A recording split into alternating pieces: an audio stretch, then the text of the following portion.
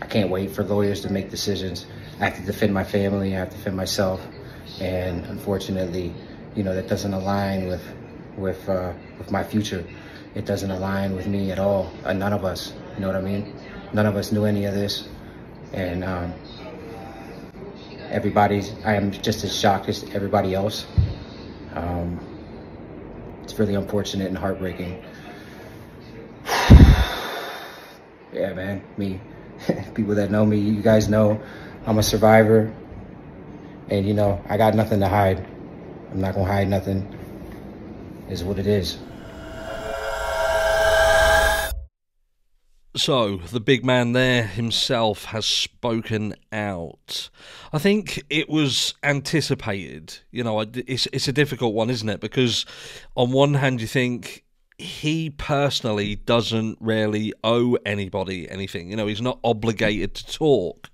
But then you could say that they have a moral obligation due to the fact that, look, they're part of a large organization in terms of their following what they do, and there's a lot of eyes on them who will be waiting for them to speak. And look, like I say, there's no real, they're not obligated to, but you could argue there's a moral obligation to. But he has spoken out. So hopefully that will shut some of the more trappy motherfuckers on this platform up. Because what you have seen is there has been this this consistent it's not just about Jared and what Jared done 30 years ago it's about what AWP are doing now and you know the the how bad AWP are and it would and it would appear from what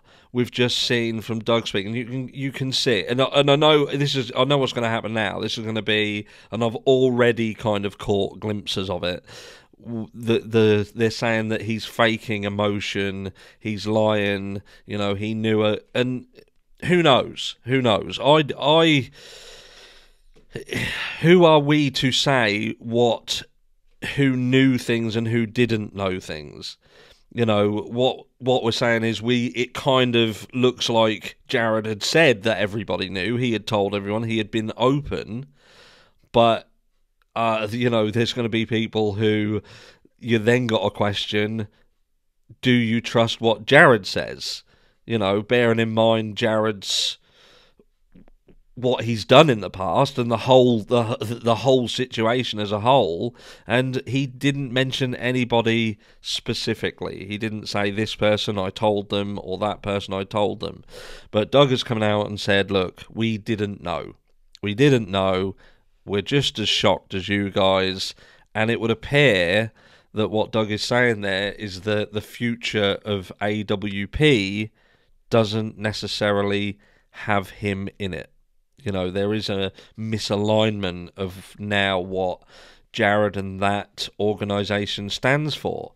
And he has no doubt got some decisions to make, some of which will be bound by the law and the legal process.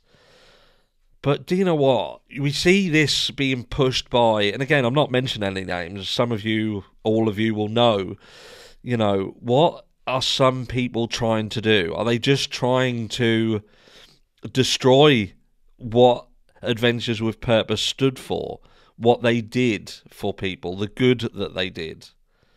You know, is that when people will be happy when they can say, "Yeah, destroyed them, ruined them, they're gone, and I had a part to play in it." Fucking hell, that's your legacy. That's your legacy to attach a an event that happened 30 years ago which needs to be punished it needs to go through due process but has nothing to do with the the works of AWP the the the the families that have been given answers that they wouldn't necessarily have had without them. You know there is a line. There is a a disconnect between somebody's history 30 years ago and what this team are doing as a whole. And especially now, do you know what? If, if they genuinely didn't know, and look, I'm willing to give them the benefit of the doubt.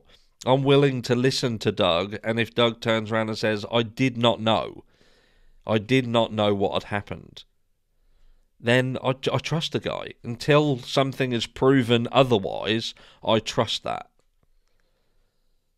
So just think the effect that this has now had on Doug.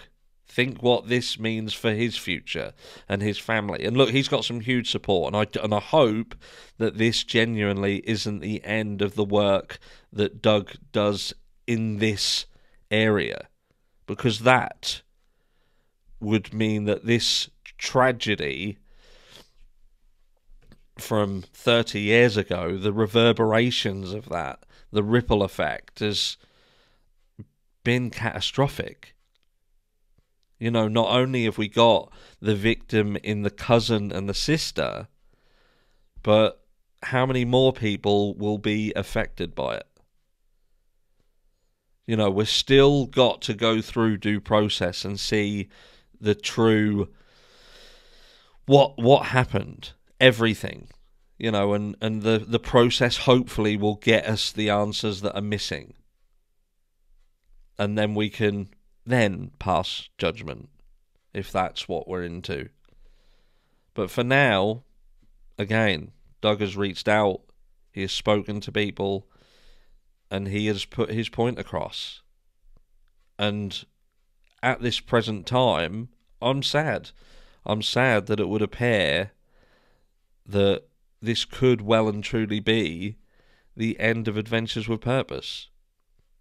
How do they come back from this? they obviously have the support, they have the subscribers, and they have the people in comments who are giving them support and saying that they will be there. But it's not quite that simple. You know, as we've seen in this situation already, there are supporters and non supporters of each individual. Doug himself. Doug himself, by some, you know, some content creators have hung him out to dry just as much as they have Jared himself, as if he himself had done it. And how unfair is that? But that's just the world we live in. That is the world we live in, that people are unable to look beyond that small box that is their belief system. But well done. If this is what you wanted, it would appear that you could very much have got what you wanted, and Adventures with Purpose will now suffer the consequences of what Jared did 30 years ago. And I'm not taking anything away from what he did. That deserves due process 100%. And like I said yesterday, there is no doubt going to be factors that we have to look at, we have to listen to. Does that excuse it? No. And for those of you who say that we're trying to excuse it, we're not trying to excuse it. But we have to consider wh- why things happened. If we don't consider the why, then how will we ever change anything? How will anything be put right? If we're just that close minded that our mentality is something happened, that's it, done deal, game over. Let me know down below. I'm going to leave you with some singing from Sienna. That's my daughter. A lot of you had asked for me to get her to sing again, and I've done that. But in comments, what do you think? Are Adventures with Purpose done? Is it now time for Doug to move on on his own? Grab that team, do what they need to do, and take the torch away and run with it. Catch you all in the next one. Yes, I do. I believe that one day I will be where I was, right there, right next to you. And it's hard, the day just seems so dark, and the moon, the stars, they're nothing without you. Your touch, your skin where do I begin? No words can explain the way I'm missing you. Deny this emptiness, this hole that I'm inside. These tears, they tell their own story.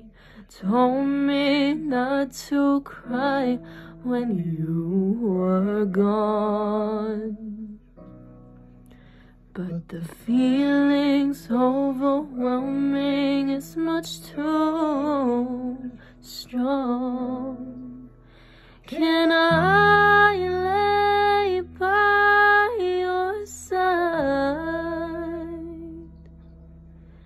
next to you?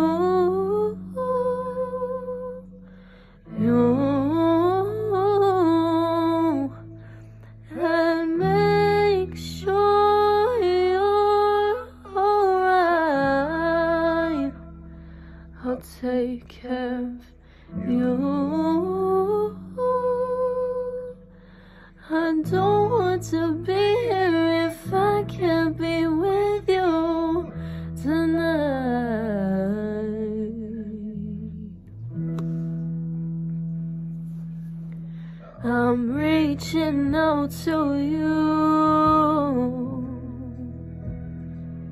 Can you hear my call?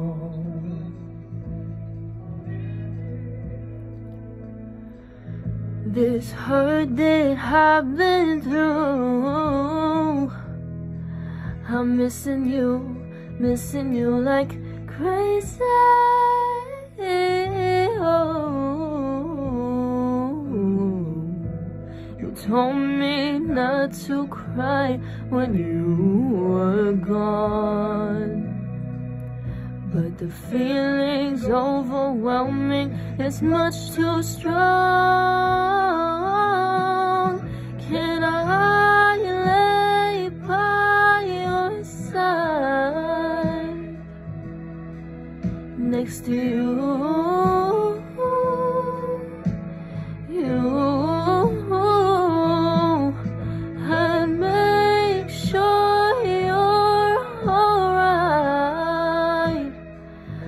Take care of you. I don't want to be here if I can't be with you tonight.